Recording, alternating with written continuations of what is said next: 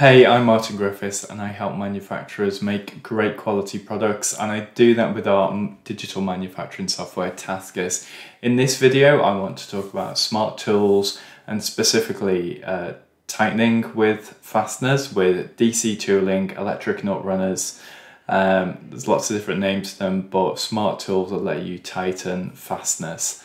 Um, Tascus has integrations into tools like this, and what it means is that in an industry 4 way, we can, the Tascus digital manufacturing software can connect to those tools, it can use them to select the right tightening uh, cycle for the right fastener at the right time in your manufacturing process. And then for traceability and quality control purposes, we can grab the pass or fail result the angle and the torque value uh, that, that the fastener has been tightened into.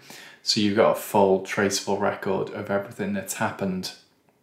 So in this video, I'm just going to show you how to set that up inside Tascus Digital Manufacturing um, and what, what equipment would be necessary to do that. So let's just dive straight into that video now.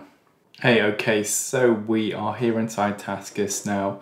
First thing I'm actually going to do is just show you how to get to our help site where we've got an article that uh, gives an overview of this. So if you click on the team menu and then help, uh, launches help at tascus.io and if I tighten in, uh, sorry, if I type in Tighten in there, uh, two articles come up, one about electric nut runners, one about Tighten uh, the step that you use in your production sequences. So the electric nut runners article, that's all about how to configure a Tascus station to connect to one of these devices. The Tighten article is more about how to use that in a production sequence and how to set up with your work instructions. So this uh, this video is more specifically just looking at the setup of the equipment first off. Uh, so the first thing it mentions is that we really have we we have an interface a way to interface to the tool. We have two options uh, really. One is through the I/O connector. So on a the example I'm going to be talking about now is Desoutter uh, electric nut runners. So on one of those tools, uh, they do have an I/O connector, which is a um, a connector with electrical connections on them through which you can select different uh, cycles or P-sets on the controller and you can also read feedback from the tool about if the cycle passed or failed, if the angle was okay and if the torque was okay. Um, so that's a basic method to interface to a controller and that is possible. I will quickly show you how that works. Um, but the main thing I'm going to go into here is the Ethernet Open Protocol method. So that means you take a, a network cable, you plug it into your network, into the controller of the tool, and through that you can communicate with Tascus to that tool. You can do things like selecting all of the different torque set settings and cycles, and then you can also download all of the results after the the operator has finished the tightening process so you can get off the OK result, the angle. So this article uh, explains all of that and shows how to set that up. Um, but I'm just going to jump into Tascus now and show you how you would go about doing that. So let's start off with the Ethernet Open Protocol. So you would go down to Devices, Tighten, and then Config. So I've already added a tool in here. So you would first off go to the, uh, the tool interface and I'm going to select Ethernet Open Protocol. Uh, this table will be blank when you start up, so you would add one, but I'm just going to double click on this tool. So uh, you can give the tool a name. If there's only one tool on the station, it can just be tool all tool one. Doesn't matter, that's fine. Um, we need an IP address and port and ID of the tool. So this needs a little bit of setup.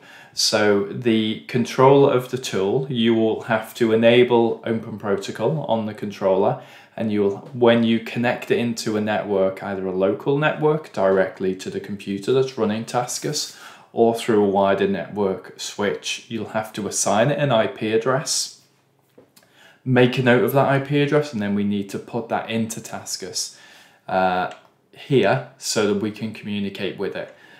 This is basically how Tascus knows where the tool is and which one it is. The ports for Desoutter, they're always 4545, so that can stay the same. The tool ID, the standard ones are what 01 for a wired tool and 51 for a wireless tool. Um, so choose one of those depending what type of tool you've got. Press OK, that means you've got a tool in the list. So when Tascus starts up, it will try to connect to the tool on that IP address, that port, and it will, if it can't connect, it will tell you that there's a problem. Um, but if it's correct, that should work. Um, what you might want to do, what I generally do uh, to check, I can talk to a device. So say I had uh, an actual tool connected on that IP address, what I would do is open up the command prompt, I would put ping and type in the IP address. Uh, and I would hit enter. I'm not going to do that here because I don't, I'm not actually connected to a tool so it won't work. You should get a reply from the tool through the command prompt that just lets you know that yes, this computer on this IP can talk to that um, controller wherever it's plugged in that's the first thing just to check that it can talk to each other. Okay, once that's done and you've got set up in Tascus, you're good to go there. The next thing you can do uh, just to have manual control over it basically and just verify that everything works. If you come down to Tighten and then Diagnostics, that opens up this screen where if you select on the tool name, that should be the tool name that you've added in your list. When you do that, it should try to connect over the IP address. If that connects okay, the connected will go up green. And what should also happen is this list of PSETs here should be downloaded from the controller itself and should pop up with all the names of the torque cycles that are on the controller. If that doesn't work, um, you might need to go and take a look at the controller itself and make sure Open Protocol's set up and that it's allowed to um, download the PSETs from it. Um, if you go in and change the PSET here, um, what you, what should happen is immediately on the controller you should be able to see on the front panel that the PSET has changed from 1 to 2 to 3 or whichever PSET you've selected.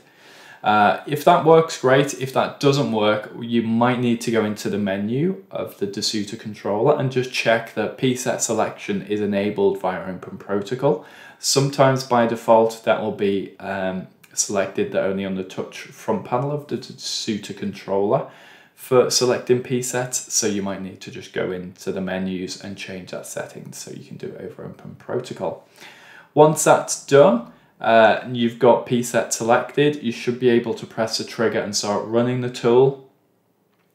Um, we have this button here which can enable and disable the tool. We usually do that just so that the button's disabled when it's not running a cycle. It's only enabled when we get to that stage of the sequence. Um, you That's another setting that you have to configure in the Desoutter controller to enable, um, to allow software, external software over Open Protocol to enable or disable the tool. That one's not as critical, but it's, it's a useful thing to be able to set up. Once you're using the tool and operating it, as soon as you do a Titan and you get a result, these these details over on the right hand side, these indicators on the right hand side should start updating. It should flash red or green if you get an OK and it should download the torque and the angle and that counter will just count up for every hit that, that happens.